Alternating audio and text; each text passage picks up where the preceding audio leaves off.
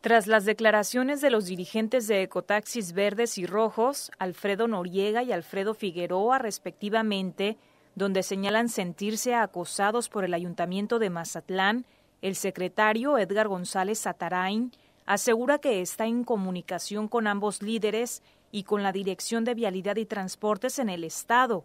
Reiteró que con los trabajos de remodelación que se registraron en la zona dorada, particularmente sobre la avenida Gaviotas, se eliminaron los sitios. Efectivamente, yo he estado en comunicación con los líderes de, de Ecotaxis, he estado en comunicación con el director de vialidad y eh, encontramos, sobre todo en la parte de la zona dorada o en la parte de la eh, Rodolfo Telbaiza, que se remodeló, que les borraron eh, con la obra la, parte de los sitios, es decir, había un espacio ahí que en la banqueta, eh, a un de la banqueta tenían y se acomodaban y, no estrangulaban el tráfico, el paso vehicular. Y los,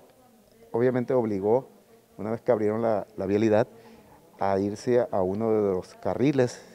y prácticamente pues está bloqueando el acceso. Reconoció que elementos de tránsito municipal actúan al verlos estacionados en línea amarilla y antes de dialogar los mueven, multan y se llevan sus unidades al corralón. El tránsito actúa este, y en el actuar del tránsito porque los ve primero en, línea amarilla eh, y luego los ve este, bloqueando el espacio, y antes de dialogar va y los mueve, los mueve, los multan, le llevan los vehículos al corralón y hay inconformidad. Ya lo atendimos, yo hablé incluso con el director eh, de Vialidad y Transporte. Eh, yo les hice una propuesta, que retomemos algunos sitios, que busquemos algunos espacios